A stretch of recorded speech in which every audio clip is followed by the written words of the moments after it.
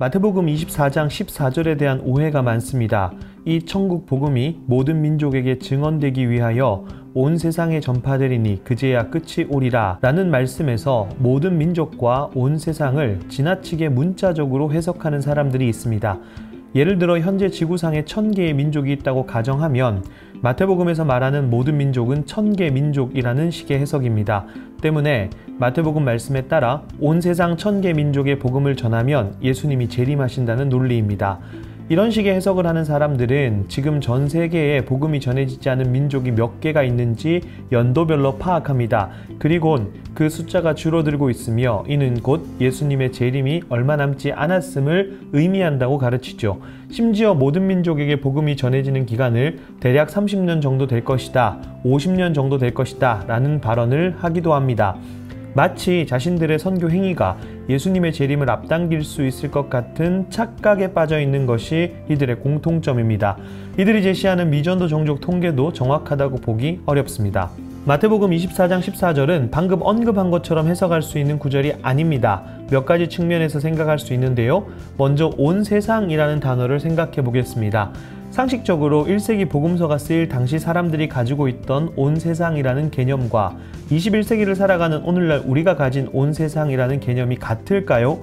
세상은 헬라어로 오이쿠메네입니다. 이는 원래 헬라 세계를 지칭했고 예수님 당시 사람들은 좁게는 로마 제국, 넓게는 지중해 주변과 기타 알려지지 않은 세계 정도로만 이해했다고 학자들은 공통적으로 말합니다.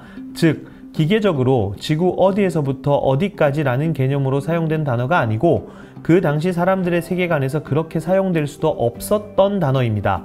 예를 들어 보겠습니다. 골로새서 1장 6절입니다. 이 복음이 이미 너희에게 이름에 너희가 듣고 참으로 하나님의 은혜를 깨달은 날부터 너희 중에서와 같이 또한 온 천하에서도 열매를 맺어 자라는도다. 바울이 온천하에서도 열매를 맺어 자란다고 했는데 그 당시 복음이 온천하 즉 모든 하늘 아래 있는 민족에게 전해져서 열매를 맺고 있었을까요? 당연히 아니죠. 이 당시 유대 지역 밖으로의 복음의 확산을 의미하는 것입니다. 역대상 14장 17절입니다. 다윗의 명성이 온 세상에 퍼졌고 여호와께서 모든 민족으로 그를 두려워하게 하셨더라. 여기서 온 세상과 모든 이방 민족을 문자적으로 볼 수 있을까요? 그럴 수 없죠. 그만큼 다윗의 영향력이 커졌다는 상징적 의미입니다. 온 세상과 모든 민족은 범위를 정확하게 정하는 개념이 아니라 복음 전파의 보편성을 나타내기 위한 단어로 이해하는 것이 적절합니다. 또 한 가지 중요하게 짚고 넘어가야 할 부분이 있습니다. 그제야 끝이 오리라 에서 끝을 어떻게 해석하느냐의 문제입니다. 마태복음 24장 14절의 끝은 문맥에 따라 1차적으로는 예루살렘 성전의 멸망을 말합니다. 마태복음의 저자는 성전 파괴를 그 자체로 종말적 사건으로 이해합니다. 물론 이것을 확장적으로 세상의 종말로 이해할 수도 있습니다.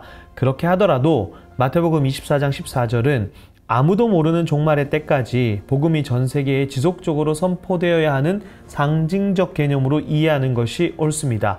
선교는 그리스도인이 마땅히 해야 할 일임을 부정할 수 없습니다. 우리는 늘 선교적 삶을 살아야 하고 직접적이든 간접적이든 계속해서 선교 활동을 해야 합니다. 다만 성경을 그릇되게 해석해 자신들의 선교 행위가 예수님의 재림을 앞당길 수 있다는 식의 가르침은 피해야 합니다. 예수님의 재림의 시기와 관련된 기계적이고 문자적인 해석과 집착은 버려야 합니다. 바른미디어의 건강한 사역을 위한 동행이 필요합니다. 바른미디어 유튜브 멤버십 가입을 통해서 저희와 함께 하실 수 있습니다. 많은 동력자가 밤이와 함께 걷길 소원합니다. 감사합니다.